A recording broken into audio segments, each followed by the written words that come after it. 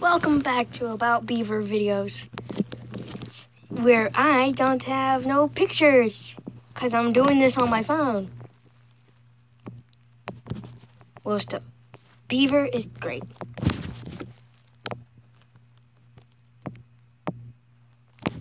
Some people bootleg him too. It's not nice, people. So if the beaver sees this, I bet he's happy.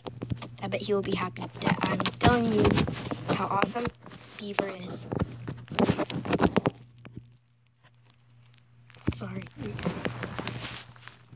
See you later. Bye.